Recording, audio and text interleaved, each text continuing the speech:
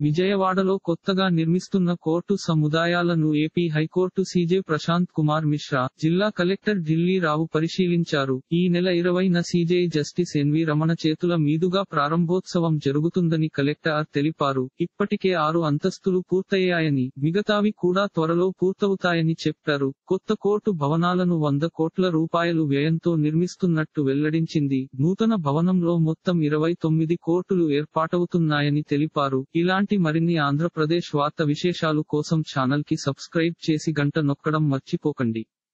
ఈ వీడియోని తోటి మిత్రులకి షేర్ చేయండి. మీ అభిప్రాయాన్ని కామెంట్లో తెలపండి.